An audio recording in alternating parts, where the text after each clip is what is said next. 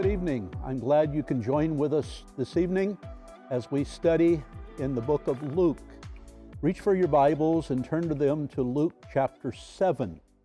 Without question, Jesus during his time on earth amazed many people. The disciples, even after having been with Jesus for over three years, never lost their sense of amazement towards Jesus. Even during the last week of his life, after the disciples had no doubt seen hundreds upon hundreds of miracles, when Jesus caused a fig tree to wither, Matthew tells us that the disciples were amazed. People were and continue to be amazed by Jesus. Jesus was and is amazing. But you did, did you know that Jesus himself was amazed on occasion? What in the world would ever amaze Jesus? Well, there are two times that we're going to be talking about. We're told Jesus was amazed on both occasions. Faith was the focus of his amazement. Jesus was amazed at the lack of faith of those living in his hometown. We see that in Mark chapter 6. And here in Luke chapter 7, Luke is amazed by the level of faith shown by, of all people, a Roman centurion. Now, faith has been defined as many different things. But to put it very simply, faith is trust. Charles Blondin was a French tightrope walker and an acrobat. He toured the United States in the mid 1800s and was best known for crossing Niagara Falls, usually without a safety net. He did it many times in different ways. Probably his most daring feat was to push a wheelbarrow loaded with a heavy sack of concrete across the wire. With all that weight, the slightest overbalance could pull the wheelbarrow out of his hands or twist him off the wire into the falls. But Blondin was the ultimate showman. He was the master of the high wire. He regularly took the wheelbarrow all the way across the falls without an issue. One day, after successfully doing so, Charles Blondin asked an impressed reporter who was there, Do you believe I can do anything on the tightrope? Oh, yes, Mr. Blondin, said the reporter. After what I've seen today, I believe you can do anything. You believe then, said Blondin, that instead of putting a sack of cement, I put a man in this wheelbarrow, a man who has never been on a tightrope before, and wheel him without a safety net safely to the other side? Oh, yes, sir, Mr. Blondin, said the reporter, I believe it. Good, said Blondin, then get in. I want to tell you, it's one thing to express belief, it's another different thing to get in. You say faith is a doing word, it's a word of action. And faith is always placed in something. The object or the person is the foundation of your faith. As an example, if I had a, a three legged stool up here today, I have faith in the integrity of that stool to hold me up. But if one of those legs in that stool is faulty, I'm going to tumble.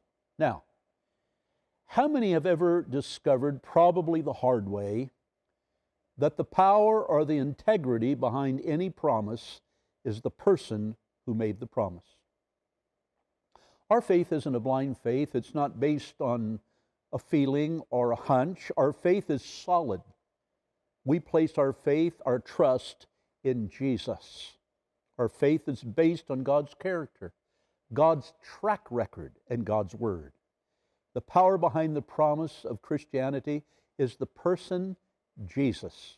He's absolutely faithful and trustworthy. Now, in Luke chapter 10, or chapter 7, excuse me, Luke the seventh chapter, uh, we're going to be looking at verses 1 through 10.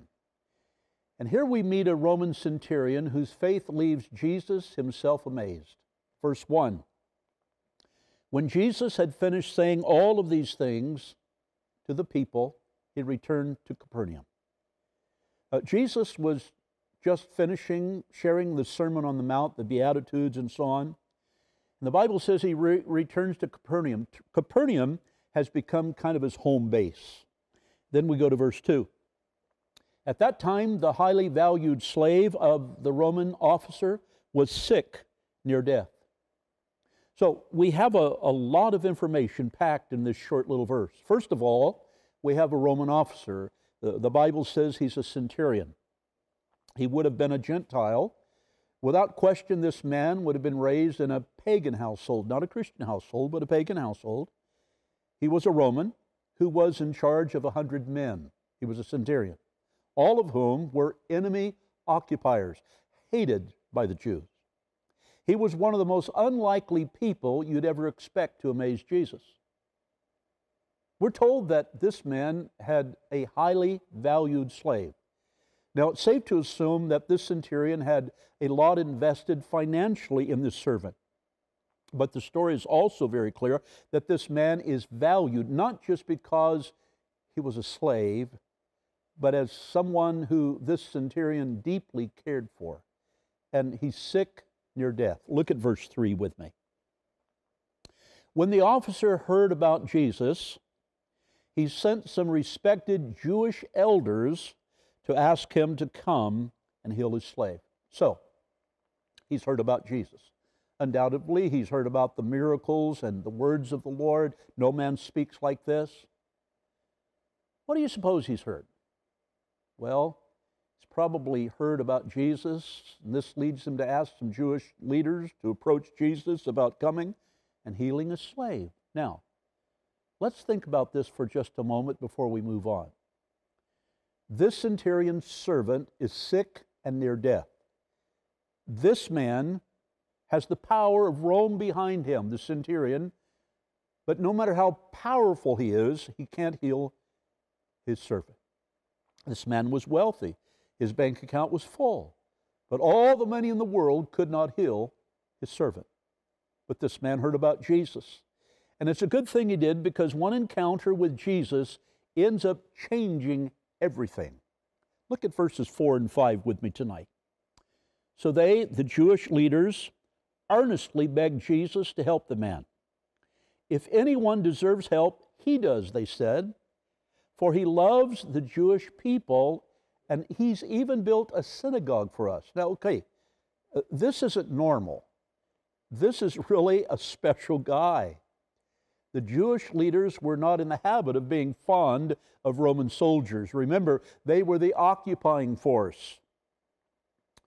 But these Jewish leaders, they go to bat for this centurion. And they try to convince Jesus that because of how good this man is, he deserves a miracle. Has anyone besides me ever used that tactic in prayer? Lord, if anyone deserves your help, I do, or they do.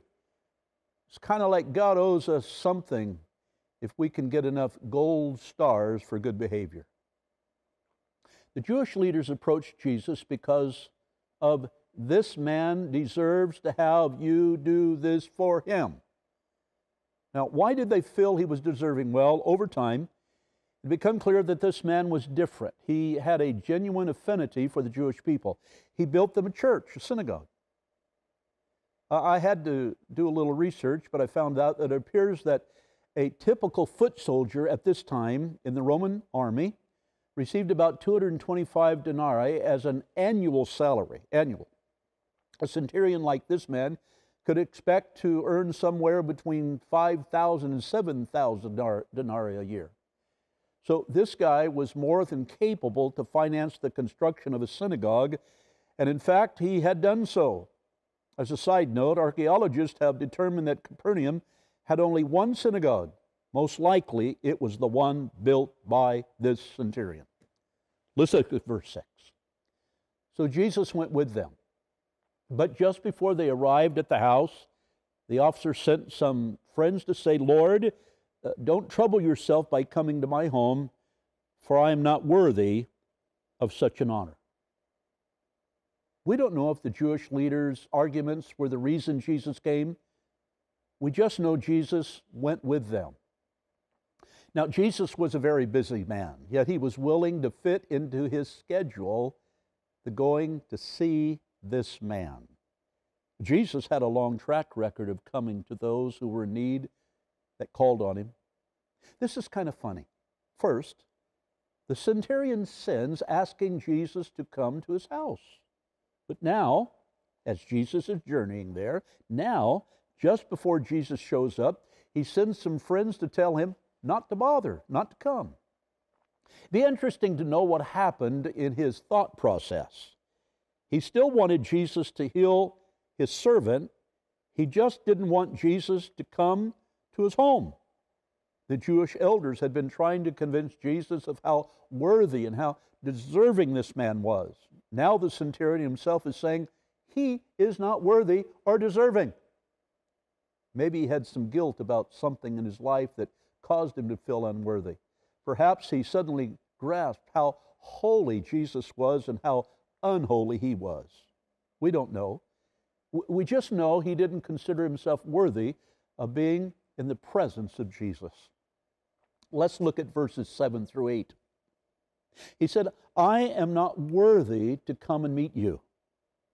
Just say the words from where you are, and my servant will be healed. I know this because I am under authority of my superior officers, and I have authority over my soldiers. I only need to say, Go, and they go, or come, and they come. And if I say to my slaves, Do this, they do it. I love that phrase, just say the word.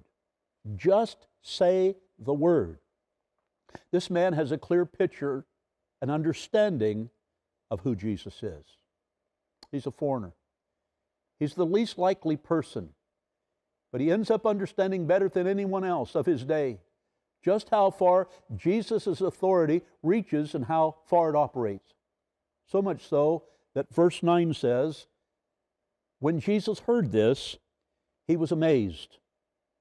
Turning to the crowd that was following him, he said, I tell you, I haven't found such faith like this in all of Israel.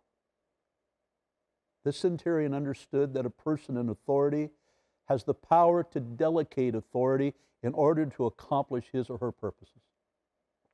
The centurion knew that he didn't have to be in the presence of Jesus to receive his miracle. The centurion sees Jesus as a commander just like himself.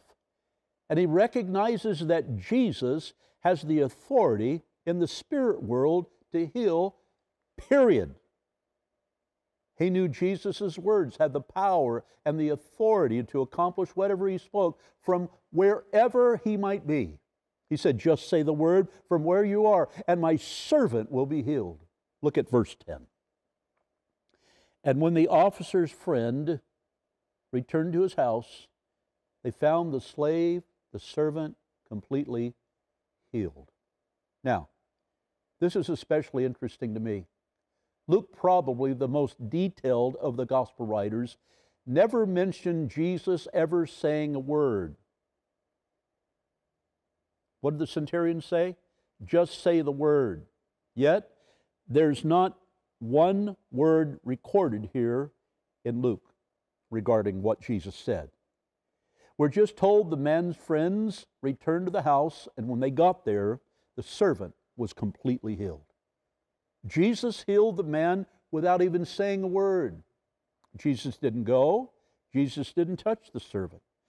He didn't offer a public prayer. He didn't do anything outwardly, yet the man was healed. And that's the power of faith. I love this story, this encounter with Jesus. And I believe there are several things the Lord is wanting to communicate to you and I through His Word today, this study. See, the centurion wanted or desired a word of healing, but the truth is, it wasn't needed. Then what was needed? Faith. His faith. His faith was the catalyst that caused the power and the authority of Jesus to bring the victory without a word into his circumstances. The Lord hasn't lost his authority over whatever it is you have or what you may be facing. You don't really need a word today. It's time to stop trying to get God to do whatever it is you need Him to do, but by faith just simply possess what He's already provided. John 19 30 says, It is finished. Ephesians 1 20. Jesus is seated at the right hand of God. Why is He seated? Because it's finished. Ephesians 1 3. We praise God the Father of our Lord Jesus Christ who has, that is past tense, who has blessed us with every blessing in heaven because we belong to Christ. I like 1 Peter 2:24. He himself bore our sins in his own body on the tree that we being dead to sin should live unto righteousness by his wounds. You were, you were past tense, you were healed. There are things in your life you've been hoping God would do or trying to get him to do. And it's not a matter of trying to get God to move in your life. It's a matter of you moving into agreement with Him and receiving what He has already provided for you. As an example, if you had a present under the tree with exactly what you desire at Christmas time, but if it's just sitting under the tree and you don't wrap it, unwrap it, you're never going to enjoy it, even though it's clearly marked with your name on it. It's available to you. Sometimes it's easy to think if Jesus were here in the flesh and we were to, he was to lay his hand on me or, or uh, upon that person that I'm praying for, I, I'd be instantly healed. That's nice, probably true, but an encounter with Jesus is simpler than that. In fact, an encounter with Jesus doesn't require him being physically present. What made the centurion's faith so amazing? It's this trust, simple trust. I love the story of the lady who touched the hem of Jesus' garment. It's an awesome story. Her, her faith was dependent upon her ability simply to touch the hem of his garment. The centurion, on the other hand, his faith didn't require any more than a, than a word. He knew that Jesus' authority would decide the outcome of the situation. It was simple trust. And Jesus responds to simple trust. Sadly, many Christians limit God. God can do anything. But because of our unbelief, God will not work in our situation. God honors faith. God is pleased when you approach Him in faith, believing that He will answer your request. God is pleased with you. Obey Him in faith, trusting Him to fulfill the clear promises found in His Word. Will you trust Him? Faith honors God, and faith honors, uh, God honors faith. This centurion had what we might call long distance faith. It was a reach out and touch someone type of faith. He believed that Jesus had the power and the authority to accomplish whatever he willed, whenever and wherever the need might be, and he was right. If I pray for God to heal a broken marriage in another state, the Lord is not limited by time or space. If I pray for a sick friend or a family member four states away, or across the globe. The Lord is not limited by time or space. Jesus can speak His word across whatever distance and delegate His power to be exer- exercised by you and by me here and now on behalf of absolutely anyone, anywhere, at any time. I can pray that the miracle of God can happen in my life as I simply trust Him. I want to pray for you today to help us trust Him for those that need a miracle in their life? Or maybe you have someone upon your heart. Would you join with me in prayer right now? Heavenly Father, we're so thankful for you in our lives. Thankful for the story in the book of Luke regarding the centurion. And Lord, help us just to release our faith. Sometimes we think it takes a whole lot of faith. No, it's the mustard seed type of faith just a small amount because it's not us moving the mountain, it's you. So we trust you today for the situations of those that are listening to this message right now and pray, Lord, that you would perform the miraculous in their life. We ask this in Jesus' name. Amen. Well, I want to thank you for joining with us this evening in our Unplugged Bible study. We'll see you again next week. God bless.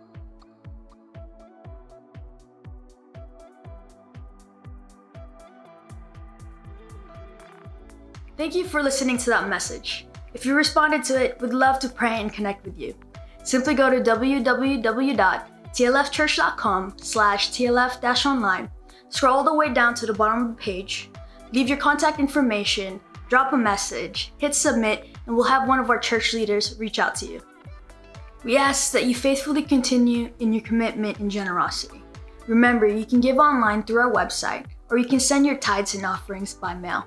You can find out all the ways to do that by going to our website at www.tlfchurch.com slash online dash giving. Once again, we thank you so much for your continual support during this challenging time. On Sunday nights, our prayer team is committing an hour of prayer from 5 p.m. to 6 p.m.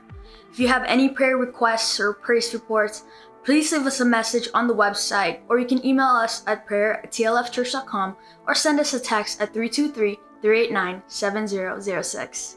Once again, we thank you for joining us online today. We hope and pray that you were encouraged and that you were blessed by that message. Have an awesome week. Stay safe, stay healthy. We'll see you again next week. God bless.